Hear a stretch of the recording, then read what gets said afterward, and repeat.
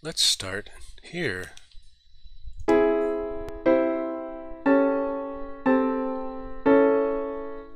Alrighty. Ladies and gentlemen, this is a recap of composing in full media, part 5, articulation flow. In today's episode, we reflected that since last time we watched even more music videos, we feel like we've been a bit slapdash putting together the latest snippets. Then we recalled we have quite a few new tools in our compositional toolbox, including using the full note and full chord function notation. So our ideas today were to add those full labels and then further compose with what we're calling snippet 5.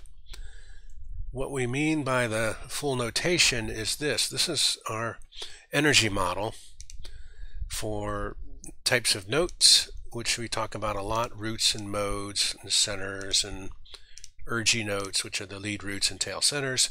The types of chords, we've talked about tonic, which is a rest, and ambivalent, which is a rest and a urge, kind of a clashy energy.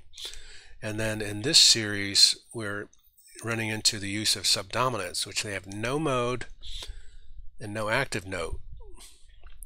For example, it could be a pure root and a pure neutral. And there's no no clashy, but there's also no no anchor to the modality, so it floats. And then if you put subdominants into cadence or, or sequence of chords, like a subdominant to a tonic, or a tonic to a subdominant, anything to a subdominant, you get floating energy versus rest energy versus urge energy versus clash energy. And that, so what we did is we went back to this from the last stream and we started labeling, down here especially, in our backbone, we started labeling, okay, that's a mode, that's a mode, that has no function, that has no function, that's a neutral note, and that's a no function, and so forth. So we went and, and did that. The second thing we did is we started swapping um, these chords. Well, actually, we swapped the whole column, left and right, to get a better feel, feeling, sounding uh, energy.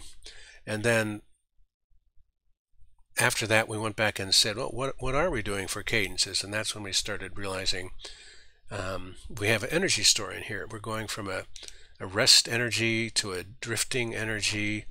We're going from a, a, resting energy to a drifting energy, all in line one. But when we get to line two, we're going from the resting to a solid resting, and then we're going from a resting to a, uh, a landing on a resting energy.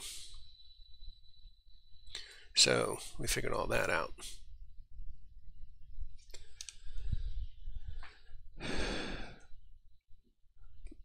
Let us show what we have to do next time.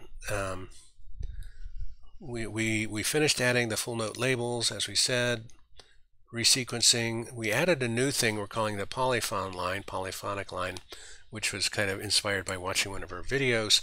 So basically the, the polyphone line is another kind of backbone.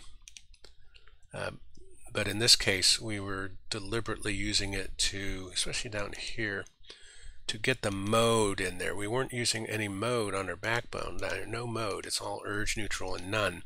So this allowed us to get some backbone in there. And the backbone is what distinguishes line 1 from line 2 because line 1 is mostly minor and line 2 is mostly major. So, so we did all that. Then we went ahead and added the new the raga theme and the sight theme and began some new harmonies for them. So our ideas for next time are to complete the new harmonies and add uh, go back to the fourth snippet, which was the shadow scale. And now that we've thought about adding polyphonic lines, we need to add those to the snippet 04. Uh, we also want to add um, add a shimmer drone to snippet 05 as part of completing it. And then after we get that, we'll get around to the 2552 scale. We also have an idea to add another line of melody using the cadences and, and other ideas all the way from there. So what we're going to do is kind of wrap up by playing snippet 5 as it currently exists, which is about probably two-thirds complete.